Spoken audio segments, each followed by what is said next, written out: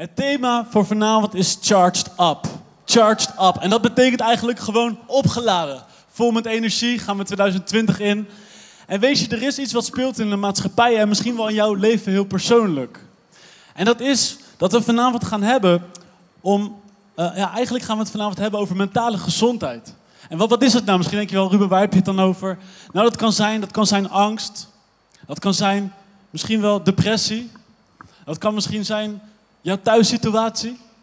Of misschien iets anders wat ik niet opnoem, maar wat in jouw leven misschien speelt. Of misschien wel in, in een familie eh, om je heen of vrienden om je heen. En vanavond willen we daar extra tijd aan gaan besteden, omdat dit iets, iets is wat heel veel speelt. Misschien wel bij jou persoonlijk, vandaag. Misschien wel een vriend of vriendin, misschien wel een goede vriend of vriendin. Of misschien wel bij een van je ouders. En daarom vinden we dit een heel belangrijk onderwerp om eens over te hebben. Want er zijn zoveel mensen die, die hiermee te maken hebben. En als kerk zijn we ervoor mensen te helpen en om in vrijheid te gaan wandelen.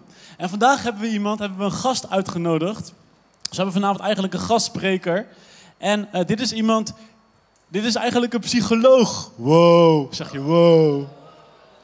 En het is een zij. En ze is heel wijs en ze kan ons denk ik heel veel gaan vertellen over het onderwerp waar we vanavond over gaan hebben. Ik wil graag of jullie een heel groot applausje geven aan Carola van S. Yes, yes, yes. Kom erbij, Carola. Microfoon van Lydia. Hey, goed dat je er bent. Ga lekker zitten. Ga, of nee, zal ik hier zitten, jij daar? Ja, is goed. Tof. Hey Carola, heel gaaf dat je er bent. Dankjewel. Ja. Welkom. Ja. Leuk dat je er bent. Super Zeker. gaaf. En misschien kan je als allereerst even wat over jezelf vertellen. Wie ben jij precies en wat doe je in het dagelijks leven? En hoe zijn we bij jou terechtgekomen? Want dat denken de meeste mensen hier misschien ook. Van, hoe komen ze nou weer aan een psycholoog? Nou, ik eh, ben inderdaad eh, een vaste bezoeker hier in CLC. Al, eh, ik realiseerde me laatst dat ik alweer tien jaar in CLC Den Haag zit. Dus dit is wel een beetje mijn Kijk, thuis. applaus waard. Yes. Dus ze kennen me al wat langer. Ik ben inderdaad psycholoog. Ik ben getrouwd met Jacco en ik ben bovenal ook moeder van twee jongens. Maar daarnaast werk ik eh, ehm, bij een GGZ-instelling. En ehm, daar help ik op dit moment volwassenen met ja, allerlei verschillende soorten problemen. En dat varieert echt van angststoornissen tot eh, depressies, tot meer patronen die al heel lang in je leven kunnen spelen, maar ook trauma's. Ehm, en ik doe daar ook onderzoek. Ik doe onderzoek naar ehm, social media gebruik in verband met depressie, dus de, de relatie daartussen eigenlijk. En ik heb ook nog een kleine eigen praktijk waar ik eh, nou ja, vooral eigenlijk CLC'ers zie. ja, dus dat. Ja. Goeie. Oké, dus jij helpt mensen met, met, eh, eh, ja, met, met eigenlijk mentale gezondheidsklachten. Toch? Zeg ik dat, eh, zeg ik dat goed? Ja. Ehm, en nou, vandaag gaan we het daarover hebben, op deze avond. Ehm, en nou, een paar voorbeelden daarvan zijn, nou, wat ik net al zei in de, in het, in de, net hiervoor, is, dat kan zijn depressie, dat kan zijn angstaanvallen, dat kan zijn oververmoeidheid, burn-out, verslaving, gescheiden ouders of moeilijke thuissituaties. Dat zijn allemaal dingen die daaronder vallen. Jij helpt mensen hiermee, maar hoe kan je hier mensen hiermee helpen? Wat doe jij om mensen hier doorheen te krijgen? Ja, dat is een goede vraag. Want ik kan me voorstellen dat jullie misschien echt geen idee hebben wat een psycholoog eh, nou doet in gesprekken. Ehm, nou, ik, ik, ik praat dus veel met mensen. En ehm, meestal wat, wat wel het eerste gedeelte is van een, eh, van een traject wat ik met iemand aanga, is vooral echt luisteren. Ehm, je verhaal mogen vertellen is vaak iets wat, eh, wat niet zo heel veel in het dagelijks leven gebeurt als het gaat over de moeilijke dingen. En, ehm, en daar maak ik in ieder geval ruimte voor om eerst goed te kijken van wat is er nou precies aan de hand? Wat speelt er? Waar worstel je mee? Ehm, nou ja, en op mijn werk bij de GGZ-instelling moet ik dan ook een diagnose stellen. Ik vind diagnoses eigenlijk helemaal niet zo heel interessant. Want het maakt mij niet zoveel uit wat voor labeltje of stickertje je krijgt. Dat is puur iets voor de financiering als je het aan mij vraagt. Wat wel kan helpen is dat als je natuurlijk weet wat er precies aan de hand is, dan weten we ook vanuit wetenschappelijk onderzoek en onze ervaringen ehm, wat een passende behandeling is. Nou, Als je het bijvoorbeeld hebt over, eh, als je last hebt van angstklachten, ja, dan ga je dus eh, kijken naar wat voor gedachten heb je over de situatie waar je bang voor bent. En misschien ben je wel bang om in groepen te komen. Nou, dan zit je hier misschien niet, maar, ehm, of misschien heb je juist wel eh, last van somberheidsklachten. Nou, dat vergt net een andere aanpak dan als je het hebt over angstklachten of als je gewoon iets heel erg naars of iets heel heftigs hebt meegemaakt. En eigenlijk aan de hand van het eerste gedeelte van de gesprekken die ik met iemand heb, ga ik kijken wat is er aan de hand en wat is de meest passende behandeling. En, ehm, en dan, ja, dat kan zijn dat het een stuk gesprekstherapie is. Het kan zijn dat we nou ja, met bepaalde oefeningen aan de slag gaan, dat we rollenspellen doen. Eh, maar het kan ook simpelweg zijn dat je, ehm, nou, dat je zelf aan de slag moet met bepaalde dingen en dat je ook wel soms huiswerk meekrijgt. Klinkt een beetje schools, maar de meeste mensen ervaren het niet als schools, omdat het echt iets is waar je van weet van hé, hey, ik moet hier iets aan doen, want anders wordt het probleem nog groter en groter. En dat, ehm, nou, dat, ik vind het onwijs mooi om te doen, want het is iets wat, uh, ja, wat heel waardevol is, vind ik. Ja, mooi. Inderdaad, super mooi dat je dit eigenlijk doet. Als hier mensen in de zaal zijn die mentale uh, gezondheidsproblemen hebben, wat zou je die aanraden? Ja, dat is misschien echt een open deur, maar tegelijkertijd ook wel iets wat vaak niet gebeurt. En dat is echt een eerste om daarover te gaan praten. Ik denk dat het ook iets is wat je nou ja, in het algemeen merkt. Dat als je niet lekker in je vel zit of je worstelt met iets, dat je, nou ik in ieder geval zelf, als ik niet lekker in mijn vel zit, heb ik de neiging om me terug te trekken. Of om te denken van nou, ik sla dat feestje even over. Of ik ga wel lekker in mijn bed liggen. Um, maar dat is nou juist, denk ik, ook uh, wat niet werkt. En wat ook juist ervoor zorgt dat je je isoleert en eigenlijk vaak je alleen nog maar slechter gaat voelen. En het kost vaak echt wel een soort drempel waar je over moet om te gaan praten over de dingen waar je mee worstelt. Maar het is eigenlijk wel echt de eerste stap om te zetten. En je kan kijken of je iemand, als je hier echt last van hebt, om, om iemand in vertrouwen te nemen. En ik denk dat je hier op een hele goede plek zit, waar echt mensen zijn die je kunt vertrouwen. En waar je nou ja, misschien je connectleider of een goede vriendin of een goede vriend of iemand anders, misschien in je familie die je vertrouwt. Dat is wel echt de eerste stap en dat is vaak heel lastig. En soms als je het misschien te moeilijk vindt om daarover te praten, um, raad ik mensen soms ook wel eens aan, probeer het eens op te schrijven voor jezelf en laat het eens aan iemand lezen. Kan soms wel net iets minder moeilijk zijn dan als je erover moet beginnen. Maar er is altijd wel iemand in de buurt bij wie je voelt, daar zou het kunnen. Die, diegene is misschien veilig voor me. En dat is echt de eerste stap. Mooi. Wat, uh, wat raad je aan? We zijn hier met heel veel mensen en uh, met elkaar kennen we duizenden mensen. Statistisch gezien zijn er onder die duizenden mensen ook heel wat mensen die te maken hebben met, uh, met, met een aantal van deze dingen. Uh, wat raad je aan voor ons persoonlijk om te doen? Nou, niet alleen voor ons persoonlijk, maar voor iedereen hier. Wat raad je aan om te doen? Hoe kunnen wij mensen helpen? Ja, hele goede vraag ook. Ik denk ten eerste, um, dat hoort eigenlijk nog een beetje bij de vorige vraag, als je zelf ergens last mee hebt. Ten eerste je realiseren, dit is iets tijdelijks. Soms kunnen we denken dat als je ergens middenin zit, dat het nooit meer overgaat. Of dat, je, dat er geen oplossing is, of dat je er niet meer uitkomt. En het is zo belangrijk dat je je bewust bent van het feit dat ook al heb je heftige klachten ergens van, of, of, voel je echt heel somber, of zie je het leven helemaal niet meer zitten. Het is iets tijdelijks en het kan voorbij gaan en je kan daar goede hulp voor krijgen. En dat is tegelijkertijd denk ik ook het antwoord voor als je merkt dat er iemand in je omgeving is met wie het niet goed gaat. Geef niet op. Wat ik net zei, als je niet lekker in je vel zit, zal je eerder de neiging hebben om je terug te trekken. En dan zal je misschien denken, ja, ik heb die vriendin of die vriend al maanden niet gezien of weken niet gezien en eh, reageert niet op mijn appjes. Um, en dan kan je misschien denken, nou, die zit vast niet op mij te wachten of laat maar, uh, ik heb er geen zin meer in. Maar dat is nou juist vaak het moment waarop mensen de contacten verliezen. En het is zo waardevol om niet op te geven als je ziet dat het niet goed met iemand gaat. En als je je echt zorgen maakt, praat er dan ook zelf over met, met iemand die jij vertrouwt.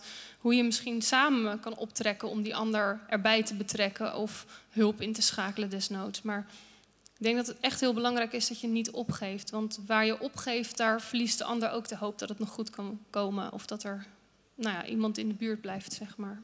En, en stel, een van deze, uh, uh, misschien zijn er mensen in onze omgeving die, het niet, die, die, er niet zelf over praten. Maar wat zijn de dingen waar, waaraan we kunnen herkennen? Oh, volgens mij gaat het wel goed met deze, met deze persoon. Wat, wat voor dingen moeten we letten, zeg maar? dat is wel een hele lastige vraag, want het is natuurlijk heel afhankelijk van waar iemand last van heeft. Maar... Zo bijvoorbeeld een depressie. Ja. Nou, wat, wat zijn de eerste tekenen daarvan? Nou, bij een depressie eh, kan je vaak merken, eigenlijk, nou ja, wat ik net zei over terugtrekken, dat is vaak wel iets wat je, wat je, nou ja, waar mensen de neiging toe hebben als je je somber voelt. Maar het kan ook wel zijn dat je gewoon merkt dat iemand niet meer zo vrolijk is, of uh, uh, vaak een beetje de negatieve kant van dingen belicht. Um, en het kan bijvoorbeeld ook zijn dat die dingen uit de weg gaat, gewoon vermijdt, of misschien uh, niet meer naar school gaat, of um, dingen gaat uitstellen, of in de problemen komt omdat je dingen uitstelt, of stil is. Dat zijn vaak wel signalen die kunnen horen bij somberheidsklachten. En nou ja, als het, als het op een gegeven moment wat verder oploopt, dan kan je zelfs ook soms gedachten hebben van, nou ja, voor mij hoeft het leven niet meer. Of ik zie het gewoon echt niet meer zitten. Of ik zie gewoon geen licht meer aan het einde van de tunnel. Of wat je soms ook kan merken, dat je relatie met God gewoon zo stil en doods voelt. Zeg maar. Dat je niet meer het idee hebt dat God nog dichtbij is. Dat, uh, dat zijn wel signalen om in de gaten te houden. Je noemde inderdaad even je relatie met God. Als je kijkt hier naar dit hele verhaal, um, heb je ook bepaalde Bijbelteksten die hier erg op aansluiten? Nou, dat vind ik zo mooi eigenlijk van de Bijbel. Die staat eigenlijk vol met uh, psychologie, zou je bijna kunnen zeggen.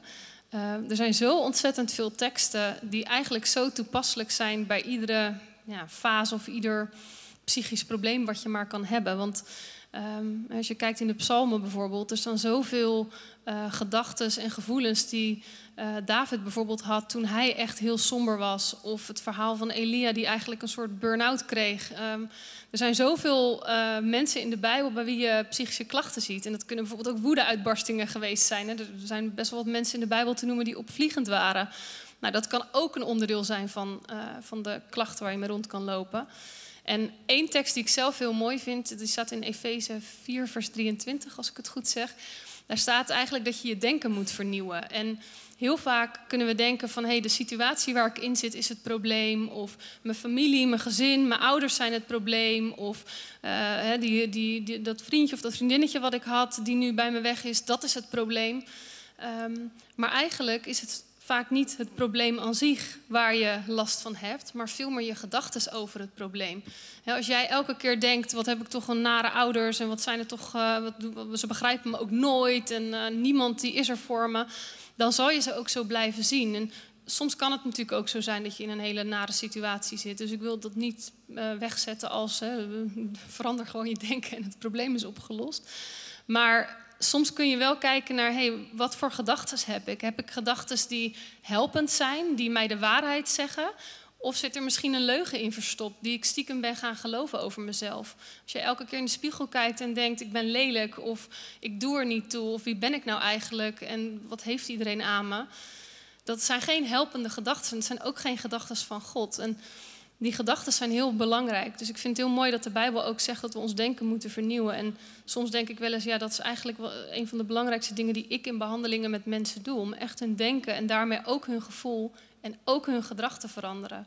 Maar het begint vaak bij het denken. Dus er is altijd wel goede hulp te krijgen, eigenlijk. Er is altijd wel een hulp die, ja, als je, als je begint met je eigen denken te veranderen, dan komen er, kunnen er oplossingen zijn. Zeker, maar ja. Je, ja, vaak heb je daar wel echt hulp bij nodig. Als je echt klem zit, dan wil ik je wel echt aanraden om die hulp te zoeken. En ik realiseer me ook, dat is heel dubbel als ik dat zo zeg. Hè, want misschien staan sommigen van jullie wel op een wachtlijst ergens. Hè. Dat is nu ook hartstikke actueel als je het ziet in de politiek en op tv en het nieuws. Dat er gewoon allerlei wachtlijsten ja. zijn. Dat de hele jeugdzorg ingewikkeld is en... Uh, dus ik vind het ook best lastig om te zeggen, want ik realiseer me ook dat het niet zo makkelijk meer is om snel een psycholoog of een hulpverlener te vinden. Maar weet dan in ieder geval, denk ik echt, dat de eerste stap is om überhaupt misschien hier in, in de kerk al mensen te vinden. Of in ieder geval ja. je connectleider of wat dan ook. Dat ja, is denk dat, ik de eerste stap. Dat was inderdaad wel de volgende vraag. Van wanneer is dan dat je op het punt komt dat je professionele hulp moet zoeken? Of dat we misschien uh, voor iemand moeten helpen van hey, misschien wordt het tijd dat we nu wel naar een professional gaan. Wanneer, wanneer is dat punt er? Ja, dat is natuurlijk ook weer zo'n lastige vraag, want dat is niet zo zwart-wit. Maar ik denk wel, er zitten een beetje meerdere kanten aan. Want ik denk ook dat we soms een beetje, misschien ook wel juist onze generatie of jullie generatie, dan voel ik me heel oud als ik dat zeg. Um, dat we soms ook wel graag een perfect leven willen. En dat we ook wel graag in het perfecte plaatje willen passen. En ook niet meer zo gewend zijn om te dealen met moeilijkheden. Of dat eigenlijk ook niet zo willen. En als je op Instagram kijkt en je ziet iedereen zijn leukste foto's, dan denk je dat het leven van de ander perfect is. Maar moeilijke gevoelens, boosheid, verdriet, angst, het zijn ook emoties die God gegeven heeft. Het zijn niet dingen die weg moeten of die verkeerd zijn. Maar het gaat er veel meer om dat je leert om daarmee om te gaan. Dus ja, ik denk dat het vooral erom gaat dat je voor een deel he, mag, mag weten dat je emoties ertoe doen en dat ze waardevol zijn. Maar als je emoties de overhand gaan nemen, waardoor je eigenlijk niet meer goed kan functioneren, of waardoor je merkt dat je steeds meer een soort wil isoleren, dat zijn wel echt tekenen, denk ik, om in eerste instantie te gaan praten.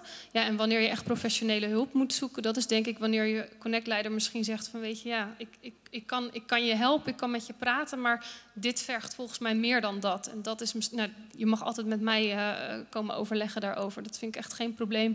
Dat geldt echt voor iedereen. Als je mij een keertje ziet in de kerk en je hebt een vraag ergens over, schiet me echt gerust aan. Dat uh, vind ik echt alleen maar heel fijn. Want dat voelt ook echt voor mij als iets van God om, uh, om mensen mee te mogen helpen. Ja. mooi. Heel mooi dat je dat ook gewoon aanbiedt. Um, ik denk als laatste vraag, is er nog iets wat je echt graag zou willen meegeven aan iedereen die hier zit? Nou, ik denk wel, eigenlijk wat ik net al zei, hè, ga niet te veel je leven vergelijken met het leven van een ander. We hebben allemaal andere achtergronden en iedereen komt uit een ander nest en heeft andere dingen meegemaakt, misschien al heel jong. Um, en soms kunnen we denken dat de ander misschien een beter leven heeft of een mooier leven heeft. En ik denk dat echt zodra je gaat vergelijken of zodra je denkt dat, nou ja, dat jij er niet toe doet, dan dat is echt een leugen. En ik wil je echt bemoedigen ook wat ik net zei over het is tijdelijk. Jullie zijn nog jong. En ik heb in mijn puberteit ook onwijs geworsteld met mezelf. En nu zie ik echt, als ik dan terugkijk in mijn leven, ben ik zo dankbaar dat ik nu mensen mag helpen die door dit soortzelfde problemen heen gaan. Dus wat je, waar je nu doorheen gaat, wordt later jouw getuigenis. En dat wordt later iets waarmee je andere mensen weer kan helpen. Dus geef vooral de moed niet op en laat je alsjeblieft niet uh, klem zetten door de dingen die je meemaakt of de dingen die je voelt. Jongens, laten we Carola een heel groot applaus geven. Dankjewel, Carola. Yes.